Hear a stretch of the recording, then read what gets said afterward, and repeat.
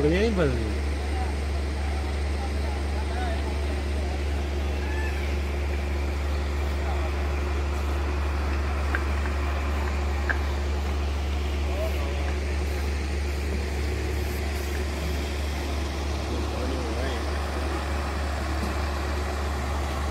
xuống sớm là tập được hả?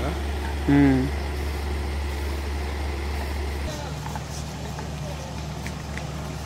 Hoplandet.